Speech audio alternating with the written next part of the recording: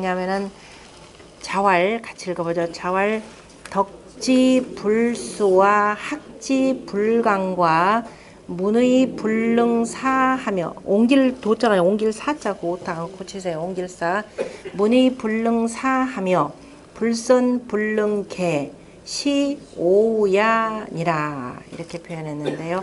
자 앞에서 자 나는 요런 요런 이거 세 가지 빼놓고 나에게 뭐가 있는가라고 표현하는 것은 한편으로 또 달리 여기다가 제자들이 기록한 이유는 당시의 위정자라고 하는 사람들은 도대체가 묵묵히 그죠? 자기가 자기 일에 대해서 묵묵히 해나가야 되는데 거기 보면은 묵묵히 해야 되는데 무기성지라고 하는 밑에 주역으로 얘기하자면 묵묵히 이루며라고 하는데 묵묵히 이름도 없고 그 다음에 공부하기도 게을리했고 더군다나 회인불건이 아닌 그저 그 자리에 나가면 다른 다른 사람들을 교화시키기 위해서 노력해야 되는데 전혀 그러지도 아니했더라라는 겁니다. 그래서 그, 그 다음에 이제 나는 이렇게 있다라고 하는 말 뒤에다가 제자들이 공자 이 말씀을 갖다 덧붙였습니다. 덕지 불수와 덕을 닦지 않는 것과 학지 불강 배워서 익히지 아니하는 것과 그 다음에 문의 의를 듣고도 능히 옮기지 아니하며 불선함을 능히 고치지 않는 것 이것이 나의 근심이니라 이렇게 표현했죠.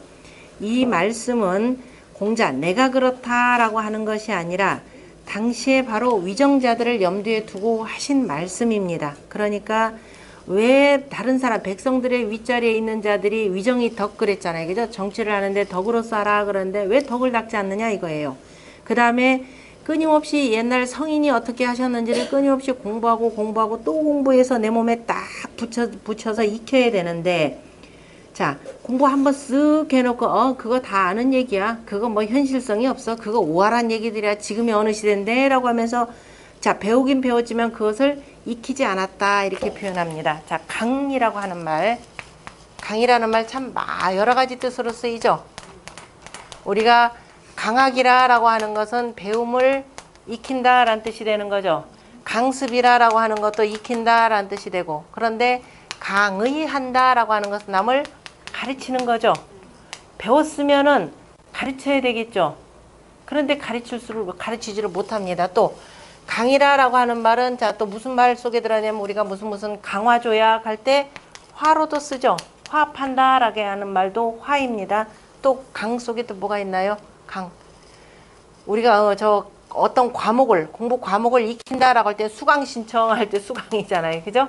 자, 이렇게 했는데 강이라는 말을 잘 보시면 강은 옛날 글자로 표현하자면은 어, 이렇게 쓰고 자, 이런 형태로도 이제 고문에 쓰이는데요. 지금 거듭거듭한다 이 소리인데요. 실은 잘 보면은 왜 보면 우물정자가 있죠. 우물정자 밑에다가 거듭제자입니다. 다시 말해서 우물정이라고 하는 것은 어떻게 우리가 공부를 했으면은 그죠? 두루 통해야 된다라는 뜻이 되는 거죠. 우물물이라고 하는 것은 가운데서 나와서 두루두루 사방팔방으로 그죠? 만왕말래 하는 것이 바로 우물물입니다. 두루두루 모든 사람들 자 목추요 갈수 있도록 만드는 것이 우물인데 우물물은 한 번 마시는 거 끝나는 것이 아니라 그죠? 항상 마셔도 마셔도 그 상황입니다. 그래서 강한다라고 하는 이 표현에는 우리가 이제 알린다라는 말, 화합한다, 또 익힌다 여러 가지가 나오는데요. 우리가 공부를 했으면은 공부를 제대로 하면은 내가 배운 것을 그러니까 제가 강 저기 특히도 천점을 할 때는 그 말씀 가끔 드리는데 내가 정말 아는지 모르는지는 어떻게 보면 된다? 배워온 것을 얘 가르쳐 보면 알아요. 내가 오늘 이를테면 하늘 천을 공부했다. 하늘에 대해서 뭘 아는지 하고 말 알 것 같은데 설명을 들을 때는 알 것 같은데 막상 입을 열어서 뭐 하늘천 어렵다 그럼 배울 학자만 갖고도 얼마든지 할 수 있잖아요. 그죠? 배웠다. 뭘 배웠니? 뭘 배웠어요? 요거 배우는 거잖아요. 그죠? 배우는 건 요거입니다. 뭘 배웠냐? 요거를 남한테 한번 설명을 해보면 돼요. 설명을 하는데 헤매요. 그래서 어떻게 하느냐? 설명한 대로 제게다 줄쳐가면서 열심히 뭐예요? 외우죠. 그럼 우리가 외우는 걸 뭐라고 한다? 외우는 공부를 네, 기문지학이라 이렇게 표현했죠. 자, 이건 제 얘기가 아니라 얘기에 나오는 얘기입니다. 얘기 예음편에 뭐라고 하냐면 기문지약이면 그죠? 기문지약이면은 뭐가 되지 못한다? 선생이 되지 못한다 이렇게 돼 있어요. 분리 사인이라 선생이 되지 못한다. 그 얘기는 뭐냐면 기문이라라고 하는 것은 그 온갖 잡설 잡언 거의 해석이 그렇게 돼 있습니다. 그 정의 해석이 온갖 잡설 잡언을 그냥 다 듣고 그 다음에 뭐냐면 그걸 달달달달 외우는 것 이렇게 돼 있어요. 그렇게 되면 스스로가 응용을 해서 이른바 오행의 이치에 맞춰가지고 응용을 해서 아까 정의죠. 어디다 내놔도 어떻게 돼요? 다 통해야 되겠죠. 다 통하도록 설명이 돼야 되는데 막히더라 라는 겁니다. 자, 막히더라. 그리고 자, 그래서 이제 학생들한테 가르칠 때그 다음에도 그 내용이 나오는데요. 반드시 자, 듣고 그 다음에 이제 상대방이 모르면은 자, 모, 모르는데 묻더라. 그러면은 묻는 대로 그냥 대답해 주지 말고 상대방이 얼마나 열심히 그 다음에 이렇게 헤아리도록 노력을 했느냐 보고서는 그 다음에 본인 그 다음에 나오긴 합니다. 자, 굉장히 답답하면 힘써서 노력했는데도 답을 얻지를 못했더라. 그리고 나서 물으면은 그때 가르쳐 줘라 그랬습니다. 그냥 묻는 대로 답하지 말고 이렇게 돼 있죠. 그래서 기문지약이라고 하는 것을 철저하게 배척했음에도 불구하고 우리나라에서는 여전히 이게 위력을 떨치고 있죠. 지난 시간에 우- 저희 딸내미 한번 얘기했던가 입안에서 저 시험 보고 나서 그 다음에 책 휙 갖다 버리고 그게 이름하여서 그 무슨 무슨 스펙 쌓는다고 이 공부를 그런 식으로 강요를 해요 또 실질적으로 그래서 이런 공부는 이미 배척해야 되는데 조선시대 때 어, 나름대로 이제 공과 과는 있습니다 조선시대 때 두루두루 인재 발굴을 하려고 하다 보니까 옛날부터 뭐냐 과거 시험을 봤죠 당나라 때부터 과거 시험을 보고 인재들을 설발하는데 그 이미 시험 한 번만 보고 나서는 그 다음에 어떻게 돼요? 저 성인의 말씀들 깨끗하게 덮어놓고 이제 현실의 권력 투쟁에 나서게 되는 거죠.